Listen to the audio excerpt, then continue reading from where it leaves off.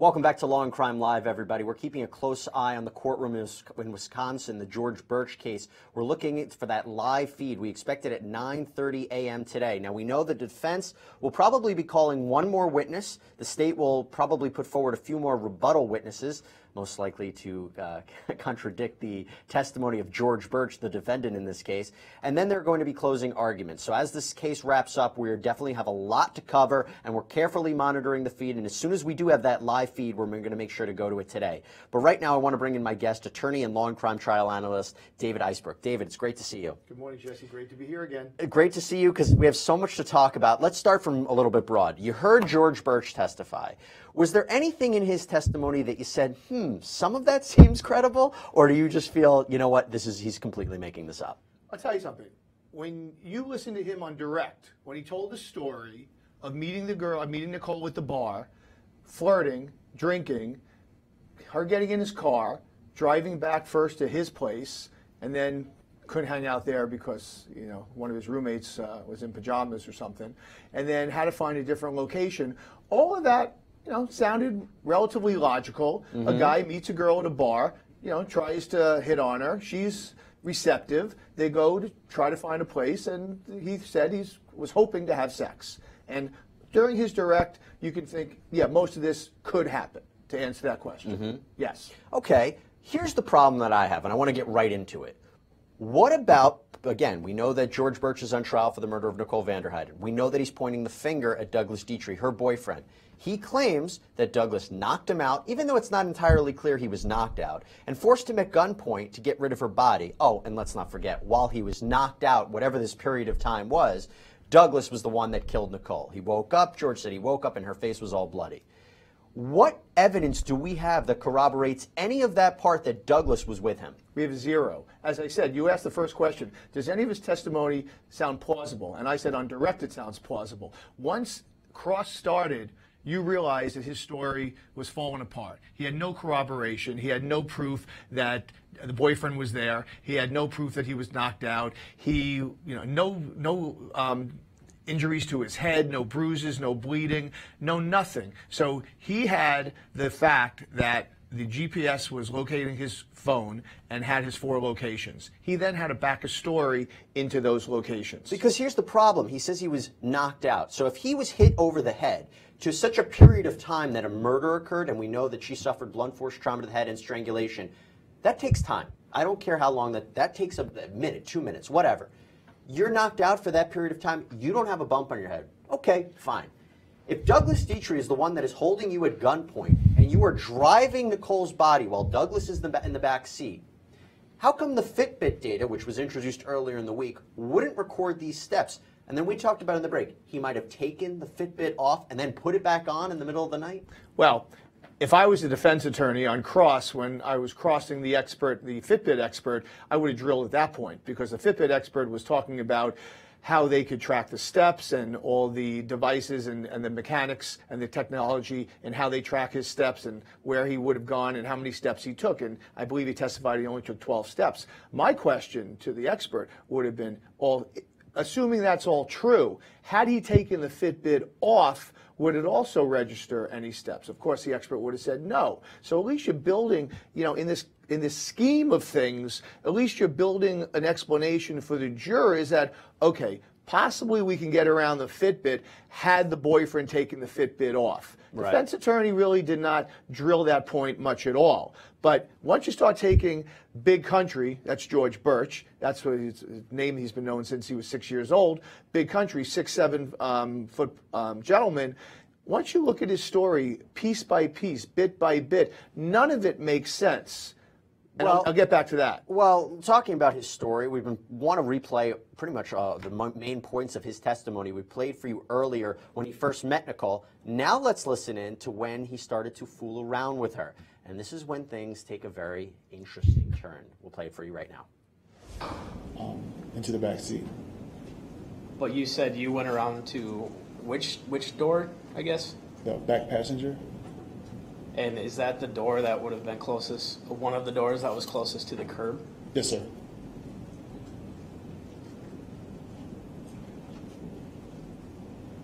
Did you get into the car at that point? um, for a few minutes. So when you got in the car, then was she? Where was she? She would have been scooted over more towards the center slash driver's rear driver's side. What happened once you got in the car? Um, the things we were doing before kind of continued and uh, I guess you could say escalated. When you went to the back seat, when you got out of the car and went around, were your clothes on? I did not have my shirt on, but I had a tank top undershirt and my shorts For anyone joining us, that's George Burch, a man who is charged with the murder of a young mother, 31-year-old Nicole VanderHeyden, explaining what happened that night, that he had sex with Nicole in the back seat of a car outside of her own home, and then he was hit over the head by her boyfriend and forced at gunpoint to dispose of her body that the boyfriend killed. Now, again, I'm here with David Eisbrouch. David, we're okay. We talked about it. All right. This is where the the more the unbelievable part of the story comes about, and we heard the prosecutor really coming hammering in on this point. You're going to have sex out in the street, her on the passenger side seat, you're standing on the outside, you're butt naked. Wouldn't you just tell the babysitter to go home? Because that's where the reason they didn't go into the house. Well, there's two stories that he gave about why they couldn't go back to her house. First, in the bar, she explained that she had um, young children, and the first explanation was that um, they were out of town. And then when they went to the house, the babysitter was there. And I believe on cross they brought out, well, didn't they first tell you that the babysitter, why would the babysitter be there if the kids are out of town? And he sort of like, you know, didn't address that too well or he didn't want to explain that. But why he described himself outside the car like that is bizarre. The positioning is bizarre. And again, he's backing into a story to match the GPS tracking of the phone. And to match the fact that if his back is to the house, he could get knocked in the head and he wouldn't have known it would have happened. So it's interesting to see. Well, uh, it was it was dark. The assailant was hooded. Yep. Um, there could have been more questions, I think, by um, the prosecutor to try to describe the assailant. Even though he was hooded, he never asked him how tall he was. Right. You know, he, this, the uh, Burch is six seven. And, and, and that's the question. We have to talk about Douglas Dietrich because that is the man that is identified as the defense as the one who really did this. We are going through George Burch's testimony. We expect live testimony at 9:30. We're going to take a quick break. We'll be back in a minute. Stay tuned. Welcome back, everybody. We're covering the George Burch case out of Wisconsin. We're keeping a careful eye on the courtroom right now. We expect live testimony about 10, 15 minutes or so. As soon as we have it, we'll make sure to go to it. But we are talking about the George Burch case because yesterday, George Burch, the defendant, the man charged with first degree intentional homicide, took the stand and explained his story. And what he, we've been talking about so far is that he met the victim, Nicole VanderHeyden. According to him, he met the victim in a bar, was flirting with her, wanted to have sex with her, brought her back to her house, outside of her house, couldn't go inside because her kids and the babysitter were there. So he was beginning to have sex with her outside when he gets hit on the head and sort of gets knocked out. I want to play for you right now his testimony about what happened when he woke up. Let's listen in. Did you do any of those things? Um, I, I didn't think that it was, I would be able, honestly, to be able to do any of these things without being harmed. So when you were instructed to go to the rear of the vehicle, you did what you were told? Yes, sir. Can you describe that for us? You mean, I'm sorry. So you were, I think you said, laying kind of by the, the open passenger door or the mid of the vehicle Right. when you came to? And is that where you were when you were instructed to move towards the rear of the vehicle? I had, um, I had stood up, but I was pretty much in that same area. Yes, sir. So you did start to walk towards the rear of the vehicle? Yes, sir. I uh, started looking, kind of looked back at, at the individual, um, and he motioned for me to move towards the back of the vehicle. Um, the whole time, he still had the, the firearm pointing in my direction. Did he move at all? He moved, as I moved this way, he also moved to keep the distance away, from the sa- pretty much the same distance, but he moved at an angle as I moved away. So again, you were using your hands there. My understanding is you were moving towards the rear of the vehicle. He was moving towards the rear of the ma- vehicle with you, but the way your hands made it seem, he was slightly further. At an angle ahead of me, right, and, and, and kept the same distance away from me as I was moving away. So that individual is doing that, and you walk towards the rear of the vehicle. Yes, sir. What happened next? Um,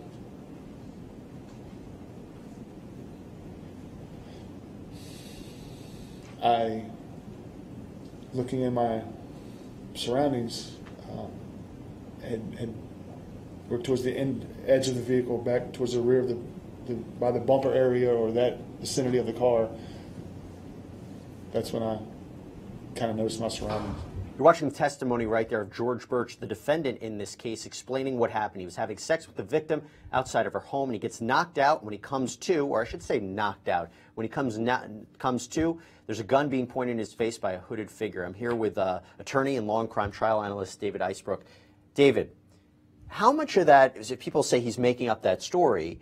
The little details matter, though, right? Those little details. Some people say, "How can someone make up little details like that?" Well, first of all, he's had a couple of years to go over the scenario in his head. So he's been planning this scenario for the last two years. But I think equally important is on the prosecution's cross, he didn't go back over these details. That's when you want to ask the questions again to Burch and go over the nuances of everything he said. You want to create inconsistencies. So basically, exactly what you were just saying, he had you know each detail laid out. The prosecutor on cross really didn't go after those inconsistencies or try to have him describe things at all. Well, speaking of details, I have a clip right now of when George Burch explained when he saw Nicole bloody and battered. Let's take a look, and those are the details that are worth listening to. No, sir. Wasn't partially on the curb. No, sir. She was completely in the street at that point. Yes, sir. She was close to the curb, but she wasn't actually on the curb. She was in the street. Do you remember if she was face up or face down? If I remember correctly, um, she was kind of like laying on her side uh, with her head toward the vehicle and her feet away from the vehicle. So her feet were, I guess, pointed down Berkeley Road in the direction that you had come from. Yes, sir.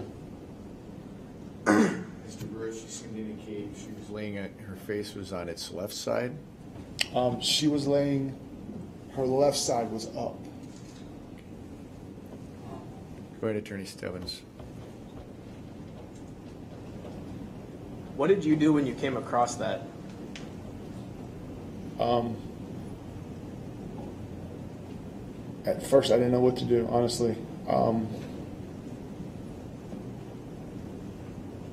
it kind of put some things in perspective, I guess, a little bit of exactly what was going on now, definitely. Um, but it kind of freaked me out even farther when seeing this because she was literally, from when I remember the last time, she was, we were in the car having sex. And the next thing I know, she's literally laying on the concrete right in front of me.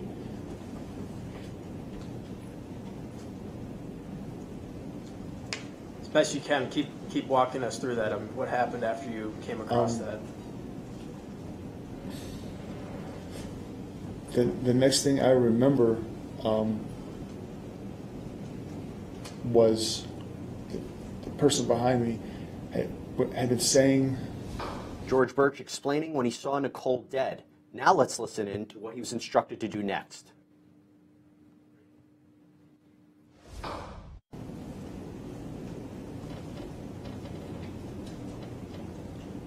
Then what happened? um, I was pretty much obstructed to, or told to pick her up.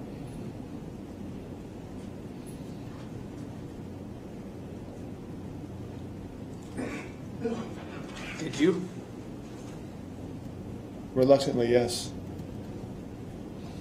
Will you describe how you picked her up? Um, I had to somewhat kneel down. Um,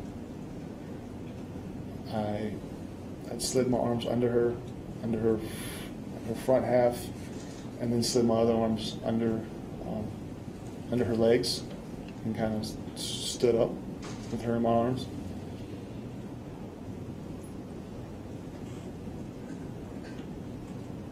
At this point, Were you able to tell whether she was alive or dead?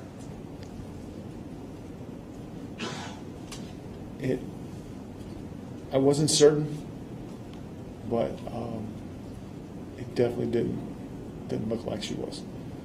There was no th- this whole time I hadn't seen any movement at all, or anything that would make me think that she was, you know, alive. I didn't hear any noises or anything like that. So once you, you picked her up, what happened? Um, I was instructed to carry her and put her in the vehicle.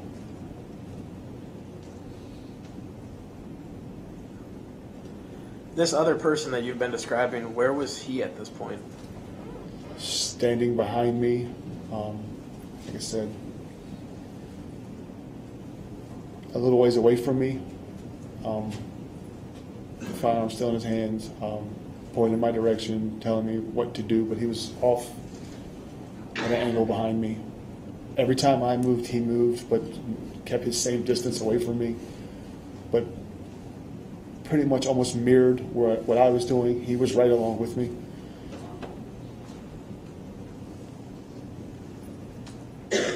So did, did you put her in the, in the, in the vehicle? Um, eventually, yes, sir. Where? the I had to come up and I had put her like sat her in the rear passenger side with the door because the, door was open. I put her in there and then I like top half in and then I moved her legs and feet. That's the defendant, George Burch, testifying yesterday. We are waiting for a live feed back in that Wisconsin courtroom. We're monitoring very carefully. I see it right now. People are entering into the courtroom. As soon as the trial begins, we'll make sure to go to it. Again, I'm here with David Eisbrouch. David, what I think is interesting about this is it explains why the DNA is all, his DNA is all on her. I mean, he had sex with her, he moved her body. But what the, under cross examination, what the uh, state really pointed the fact was, you're going to tell me that Douglas Dietrich, man you don't even know, is going to enlist you to get rid of this body? Common sense. Some of it doesn't doesn't make sense.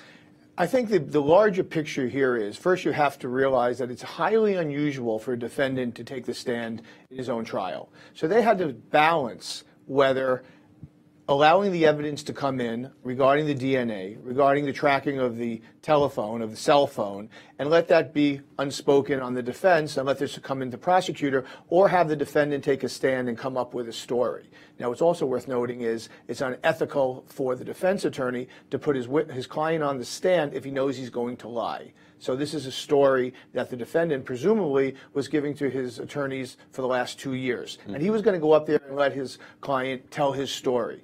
It's a gamble. It, he, the weighing the fact that he's going to testify versus let this evidence come in without any, anybody refuting it. Well, I will tell you, I've spoken to people who uh, listened, watched him, the whole testimony, and said, you know what? I'm not convinced he did it. There's something about his speech, there's something about his demeanor that says, I don't think he's a killer.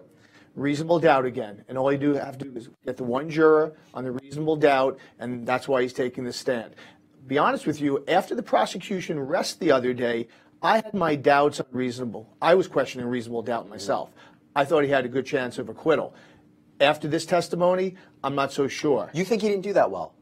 I, I, did not think he did so well. And on cross, I think what's going to kill him is when the prosecutor asked him specifically the question of after you escaped, which I know we didn't get there yet on the clips, after you escaped, why didn't you call the police? Why didn't you contact anyone? I think that's going to be the toughest question for the jurors to answer. And there were many reasons why he didn't do it. One, he said he was on probation, was afraid of getting in trouble. Two, he thought Dietrich would be arrested. He didn't matter. And three, it's just not something you do when you're in that neighborhood. You don't rat on people. His first answer was that where I come from, you don't rat on people. Bad things happen to people who rat. That was his first answer. Then the prosecution went back at him again on cross and said, Mr. Burch, are you asking the jury to believe that you didn't call the police because you were afraid of being a rat? Then he said, Well, I'm also on probation for grand larceny. That opens up a new spectrum of his testimony. Now the jurors know he's a convicted felon. They obviously want to keep out the fact that he was acquitted of a murder 20 years ago, but now he had to admit, and another, again, another balancing act. Do you bring that out, weighed against the fact you stay quiet and you let the prosecution enter the DNA evidence of the forensic? So now he tried to rationalize why he didn't call the police by stating he's out on probation and breaking probation by being in the state of Wisconsin. Right. I mean, you're making some really good points here, and we have so much to analyze. We're going to play you George Burch's testimony throughout this morning uh, as we do wait for the live feed. I see George Burch in the courtroom. We're waiting for trial to start. As soon as it does, we'll make sure to go to it. We expect the case to wrap up today. So much to talk about with George Burch taking the stand. A lot at stake for this man and everyone involved. We'll take a quick break. We'll be back in a minute. Welcome back to Long Crime Live, everybody. We're covering the George Burch case out of Green Bay, Wisconsin. We're waiting for a live feed in the courtroom as the as the case wraps up today. What we're playing for you right now is the testimony of the defendant who took the stand yesterday, George Burch, him describing the series of events that led him to where he is today. And he is blaming Douglas Dietrich, Nicole's boyfriend, as the person who committed this crime, not him. Now, where we are right now, he was having sex with Nicole outside of her house. He gets knocked in the head by who he'll later say was Douglas Dietrich, and he's forced at gunpoint to put Nicole's body in the back seat. Let's listen in about what happened next. into a semi-sitting almost position. Okay. So you you position her in there, essentially in a way that that someone would normally sit in that Correct. seat.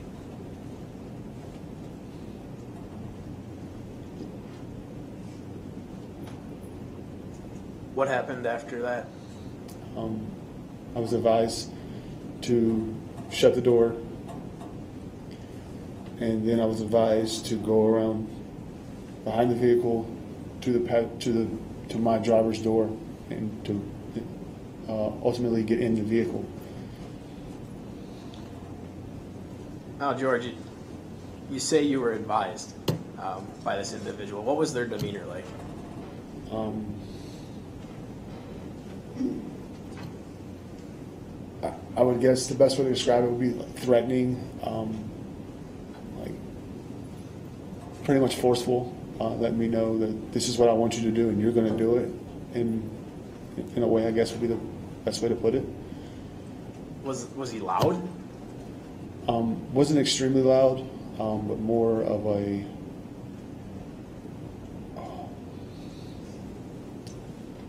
I guess maybe it was like a commanding tone. Um, like let me know that he was speaking to me and what he he meant everything that he was telling me to do. I believe you said you closed the door once Nicole was in the vehicle. On the passenger side, yes, sir. Do you remember if the window was down? Um, all of my windows were down. All okay. Uh, so is that front driver, front passenger, rear passenger, rear driver? Those windows were down. Yes, sir. When you closed the door, uh, I guess was Nicole. What ha- did you notice anything when you closed the door? She um, kind of, I guess you could say, slouched a little bit more towards the. s- She was sitting in the rear seat, but she didn't lean against the door. She actually leaned a little bit away from the door, I guess, like almost sliding to the, the left a little bit.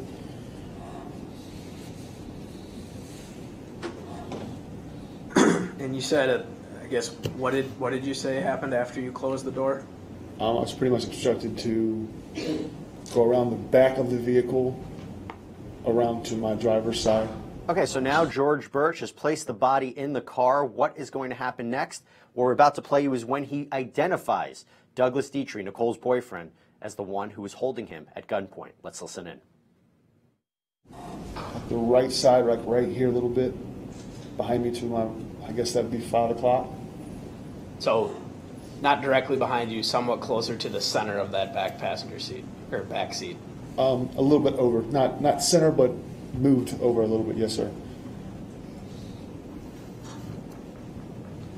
What'd you do once you were in the vehicle? I again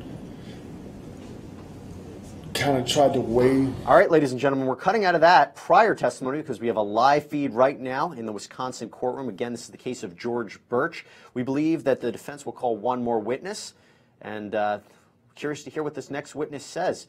Again, as the defense puts on their case, we believe the prosecution will put on their own rebuttal witnesses. As the witness takes the stand, let's listen in.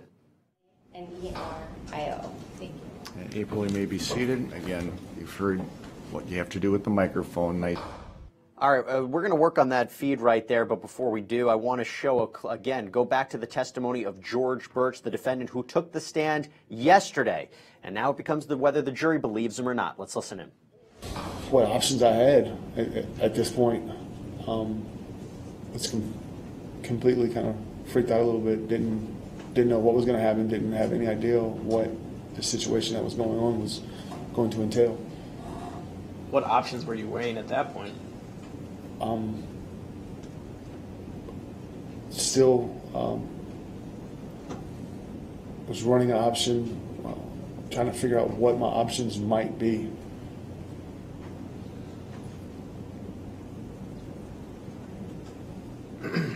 Did you have an opportunity to ever see this individual's face? The first time that I saw the best physical image of this face was when I looked in my rearview mirror And when was that? um, when I first started driving. Because it's with once I started the vehicle, you have your interior lights, and the interior lights were bright enough that I could actually see someone, and I could see the reflection in the mirror, because I couldn't physically turn around and look at them. And again, at, Okay, so according to George Burch's testimony, Nicole's in the back seat, her dead body. He's driving with Douglas Dietrich at gunpoint in the back seat, driving him off to a field in an effort to dispose of the body. Let's listen in about what happened next.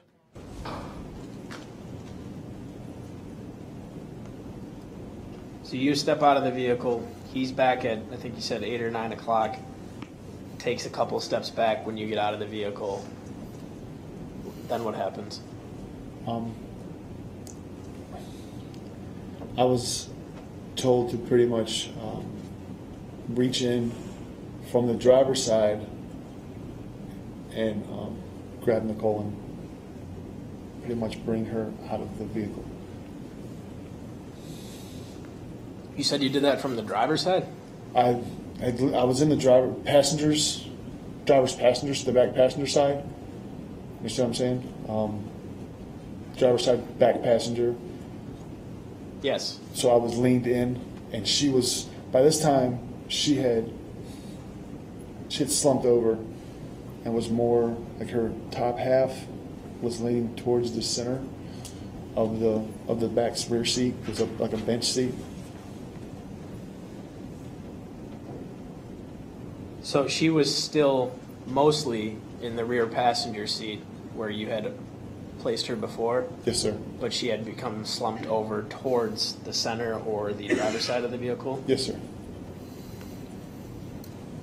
And you, you at that point removed her from the vehicle. It was somewhat difficult, but yes. And did you say you did that from the driver's side of the vehicle? Yes.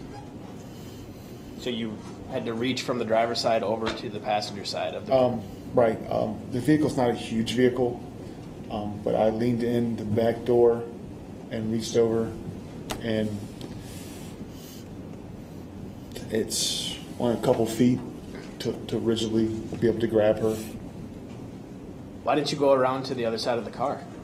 Um, that was that was where I was at, and that's where I was told to do it. How he explained, you know, told me to grab her right then and there. The, the rear door was still open, um, so I just reached in and grabbed her because he was standing towards the rear of the vehicle. You're watching the testimony of George Burch, the defendant, testifying on his own behalf in his own murder trial. Again, I'm here with David Eisbrouch. Um, question for you. As the defense closes out their case, the prosecution can call rebuttal witnesses. Do you think that they're going to have to call Douglas Dietrich to rebut what uh, um, George Burch said in his testimony from yesterday? Interesting question is what I was uh, discussing earlier. That's today. why I asked. Yeah, um, I believe that they they should. Whether they will or not is obviously up to the prosecution. But I'd like to see Dietrich up there refuting exactly what Burch said that he had never seen this man before. He wasn't out there that night. He was sleeping.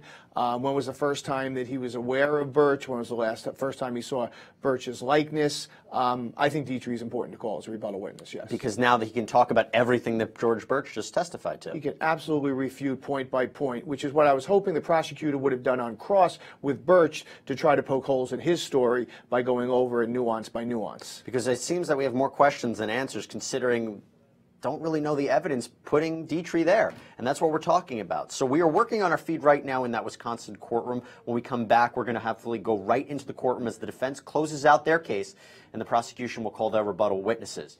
Um, it should be noted again, you are watching the case of George Burch, a man charged with first degree intentional homicide in connection with the death of a 31 year old mother. And her body was found three miles from her home. George Burch's DNA was all over her. And we can know from his cell phone that he was in four key locations that night, including the crime scene. We're going to take a quick break. When we come back, we're going to go right into that courtroom. You do not want to miss anything. We'll be back in a minute. Welcome back, everybody. That's who we're talking about, Nicole VanderHeyden, the young 31 year old mother who everybody said was such a great mother, a great person. She died tragically. And now the question becomes who did this? Who killed her? Well, George Burch is on trial right now for her murder. But his defense team is claiming that it was Douglas Dietrich, Nicole's boyfriend, that he was the one that did it. We have a live feed in the courtroom right now, and April Renario, a criminal investigator, is on the stand talking about the Fitbit data, the same Fitbit data that the prosecution is trying to say exonerates Douglas Dietrich, that he was wearing one the night in question, and his steps don't match up to a person who killed Nicole. Well, we want to listen in right now, live, to this criminal investigator. Did you request or subpoena records from Fitbit to compare to the report that you provided here today? Not for myself. I had tried for Doug Dietrich and they wouldn't provide it without a search warrant, and I can only do a subpoena. And you did not attempt to do that for your own device? I did not. I had already failed the one time. With respect to those photographs that you're being shown uh, earlier, is it 185 and 186? Yes, Can I take a look at those? sure. You know where you located these Doug Dietrich's phone? Um, in the images section of the extraction, Are you an expert in cell phone forensic downloads? I'm not. In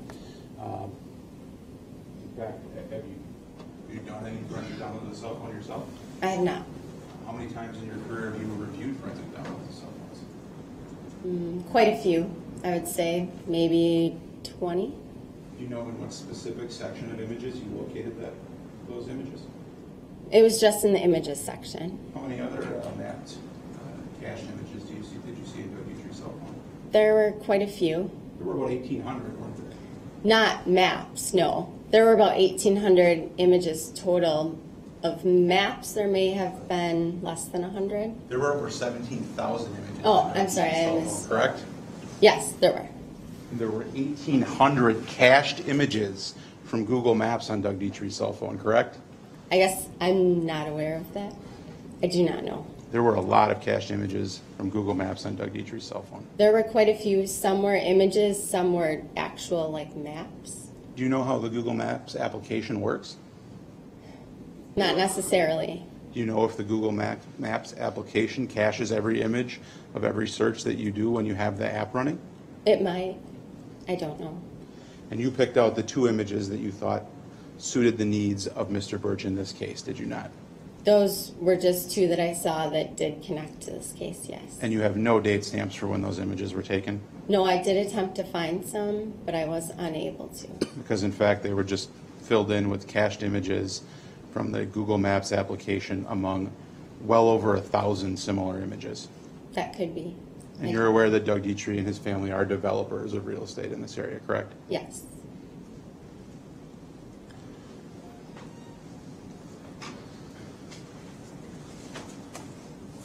You were asked to walk the East River Trail in this case, correct?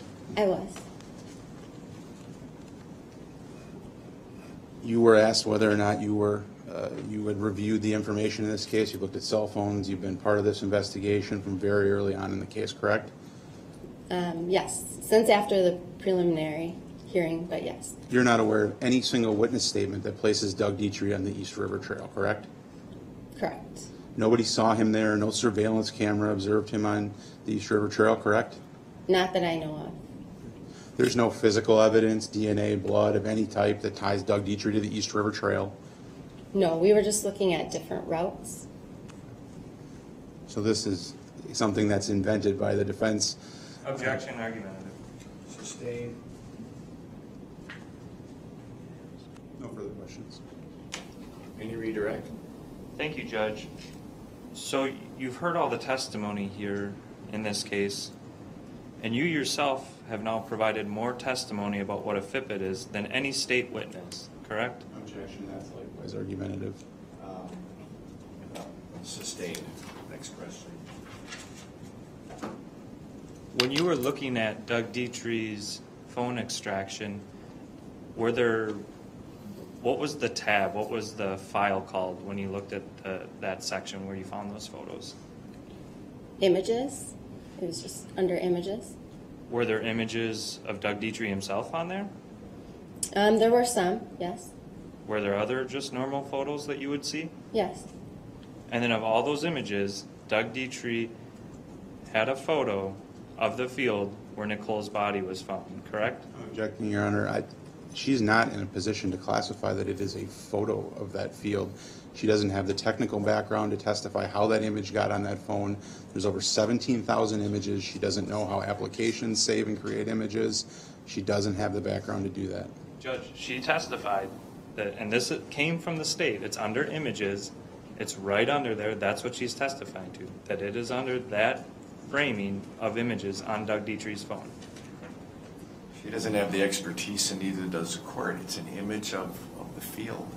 Image, picture, I, I- I don't see this, the, the, the distinction. I'll overrule the objection. You found those photos, correct? correct. And then again, there's no surveillance even available on the East River Trail that could have caught Doug Dietrich, correct? Not that I saw. Nothing further.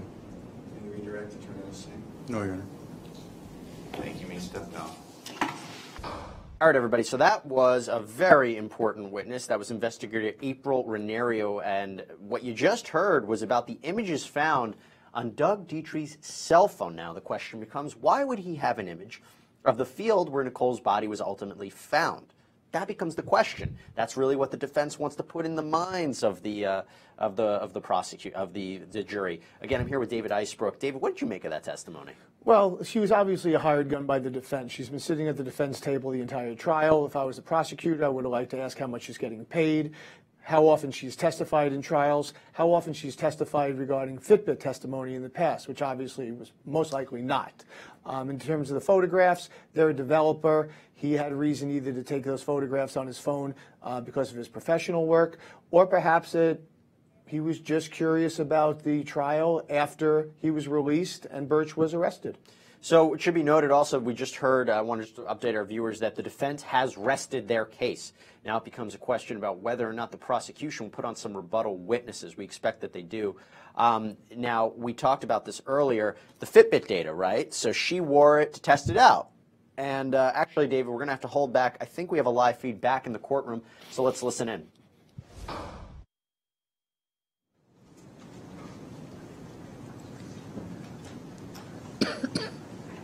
Mr. Frankel, good morning. You can come forward, step to the witness stand. Madam Clerk will swear you in. You swear to tell the truth, the whole truth, and nothing but the truth, so help you God? Yes. Please state your full name and spell your last name. Uh, Daniel Allen Frankel, F-R-A-N-K-E-L. Thank you. Mr. Frankel, you may be seated, and if you just pull yourself close to that bar, that's actually the microphone. Okay. And then Attorney will say whenever you're ready.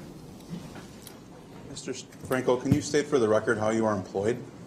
Um, I am employed from Progressive Insurance. And what is your role with Progressive Insurance? I am an application programmer lead for Progressive Insurance. Can you describe what an app- application programmer lead does? Um, an application programmer lead can have a variety of uh, duties, um, largely kind of overseeing um, specialty applications. In my case, um, I work in the snapshot area. How long have you been with Progressive? I've been with Progressive 20 years. And has the, uh, your current position, has that always been your position with Progressive? It has not. I've been in that position since March of 2010, so eight years, almost eight years.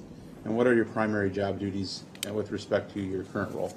Uh, my primary job duties are working with our physical snapshot device, um, working with our vendor, uh, which produces and supplies the device, uh, working with our business partners at Progressive uh, to ensure that the requirements uh, and functionality of the device are what Progressive wants. Um, I also work on designing and implementing and maintaining uh, the software. Okay, so this is a uh, man from Progressive Insurance, the next rebuttal witness, the first rebuttal witness put on by the state after the defense has just rested their case.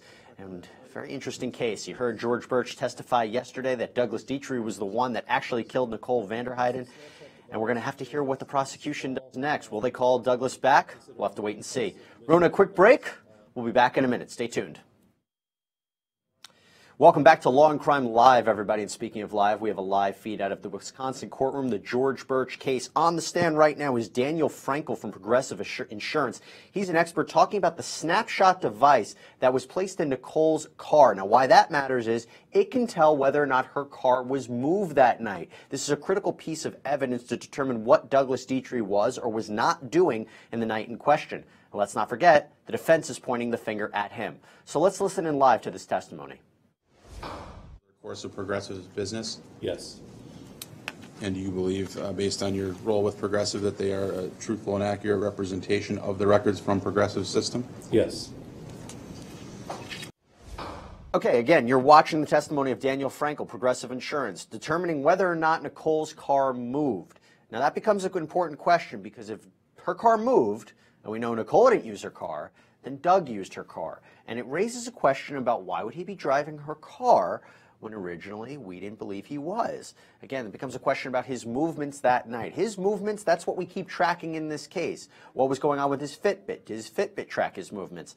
David, what do you think about this, uh, about the, the device in her car tracking whether or not the car was moved? Well, this is a critical point uh, for the defense and the prosecution because it you know puts another dent in the prosecution's case if it could be proven that the car was moved at any time and that's the only car that was accessible to him. Because remember, he drove to the bar, he was drinking Dietrich, and then he couldn't drive back home. He testified he left his car at the bar. So her car would have been at home. If he moved for any reason, if he drove to find his girlfriend and Burch, he would have had to use her car. And so this expert is, is establishing whether that car was moved or not. So we know the defense rested, and the, we're talking about the rebuttal witnesses right now. Uh, we believe the state will be providing some more rebuttal witnesses. We talked about earlier about whether or not Douglas Dietrich will be recalled as a rebuttal witness to contradict or to fight against all the testimony that was brought forth by George Burch, a completely new narrative about what happened to Nicole VanderHeyden. I would think the prosecution, again, would want to um, call Dietrich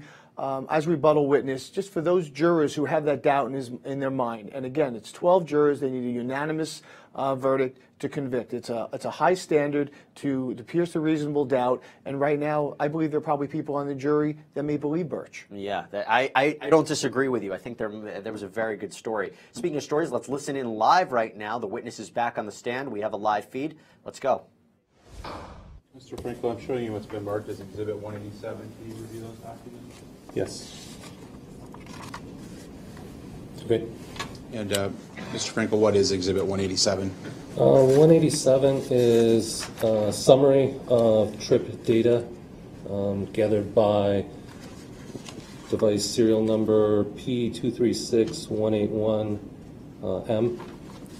And that is the device that was installed in the the Buick Rendezvous with the VIN number that I referenced earlier? yes.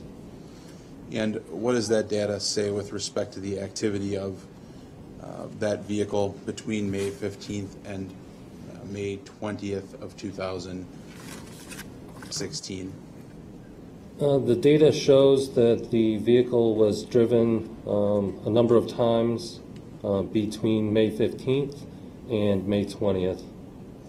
Is there any data for that vehicle after May 20th of 2016? There is no driving data here after 5/20, uh, 16 at 12:51 PM. And again, the, the request was made for data through May 23rd of 2016, correct? Correct.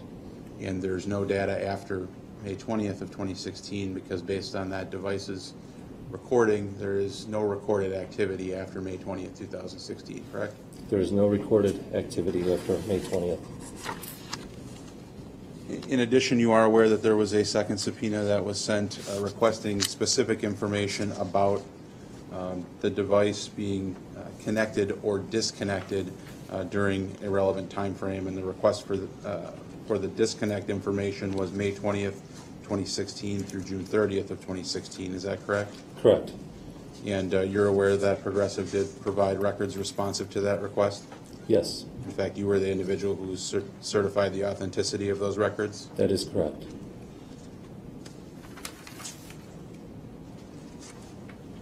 And uh, these are the types of records that are maintained in the regular course of Progressive business? Correct. May I look at one, Mr. Frankel, can I look at uh, Exhibit 187? Yes, sir.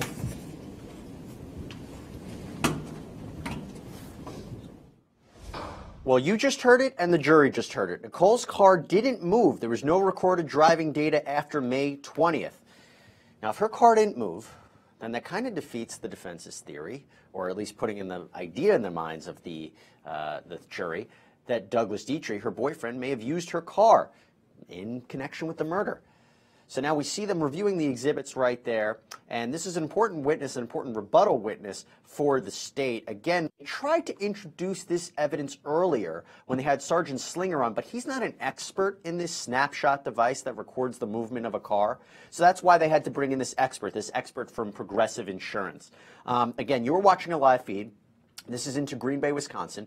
George Burch, the defendant, is on trial for the murder of Nicole VanderHeyden, and his defense team is pointing the finger at Nicole's boyfriend. We kept talking about it earlier this morning that really what the defense is doing is pointing the finger because of what George Burch's testimony was from yesterday. You heard it. Um, we'll talk about that in a minute, but we have the live feed back in the courtroom, so let's listen in. Event records, um, those show when the device has read uh, the VIN uh, off the vehicle as well as um, connection and disconnection uh, from power.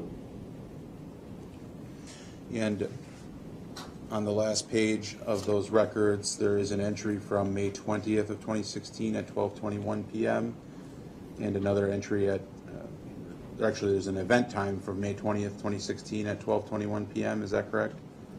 Correct. And what is that entry? Uh, that entry is reading the protocol VIN, um, the VIN number from the vehicle. Uh, Indicates that it is connected at that time? Yes. And when is the next date that that device was disconnected from the vehicle? According to our data, the device was disconnected at 4:25 a.m. on um, June 1st, 2016. If the device had been disconnected from the vehicle prior to June 1st of 2016 at 4:25 a.m., would that information have been logged? That information would be logged. And even if the vehicle was powered down at that time, uh, in between May 20th, 2016 and June 1st of 2016, would it have logged retroactively that it had been unplugged from the vehicle? Yes, the, the device holds a timer of when it is active, and then if it loses power, it knows the latest date that it had power, um, so that when it's plugged in again, then it can generate the, the disconnection record. So based on these records, the device was plugged into the vehicle on May 20th of 2016 and remained plugged in until June 1st of 2016, correct? According to these records, correct. And in summation on the previous records, you indicated that the last time that that vehicle was operated uh, within the relevant time frame was May 20th of 2016, Correct. and the vehicle was not operated on May 21st of 2016. According to the data, no. Thank you. No further questions. I would move for admission of the exhibits, Your Honor. Subject to cross any objections to 187 and 188? No, Judge. 187 and 188 are received. Cross-examination? Judge, may I just briefly look at the most recent exhibit before I begin questioning?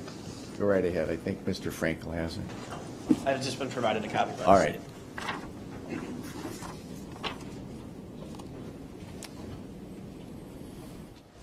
Again, Daniel Frankel from Progressive Insurance.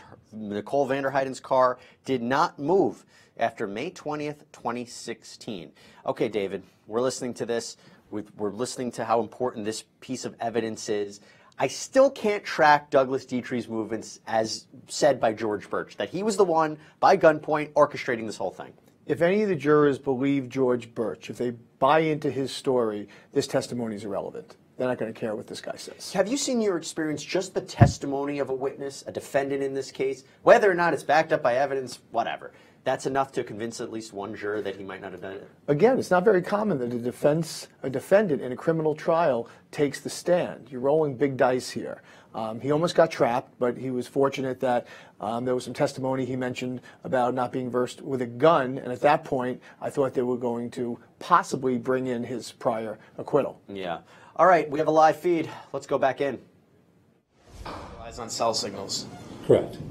and cell signals sometimes weaken, They do? sometimes they go out completely. That is correct. And if that were the case, then the snapshot device could not be communicating, I guess, transportation logs to Progressive. Uh, the device holds on to the data um, so that if it can't communicate, it will try a certain number of times and then it will hold on to that data until its next appropriate time to call. And so the next appropriate time to call, that would be the next time that the device is used. We do have uh, check-in calls that the device does. Um, there are also calls where the device um, it can go into a low low power mode, um, so not to, to drain a battery.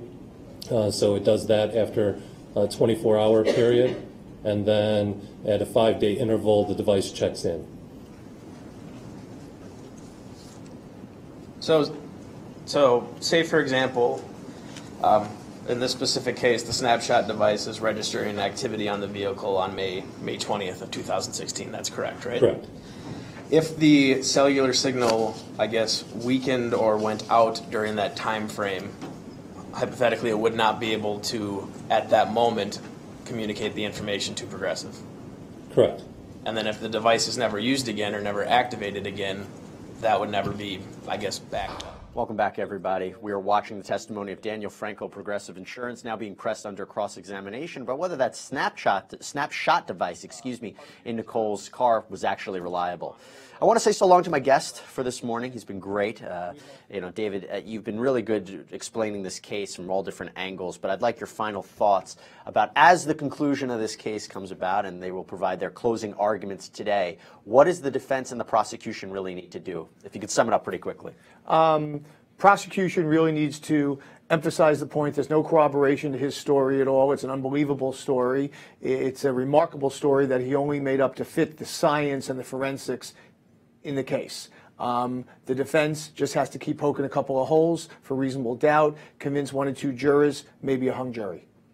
Very well said. David Eisbrouch, everybody, thank you so much for joining Thanks again, us today. Jesse. Great being here. Great having you. All right, everybody. So when we come back, we're going to go back into the courtroom as the prosecution and the defense wind down their case. And then it'll be up to the jury after all this long weeks of trial. We're going to cover it. We're going to take a quick break. We'll be back in a minute. Stay tuned.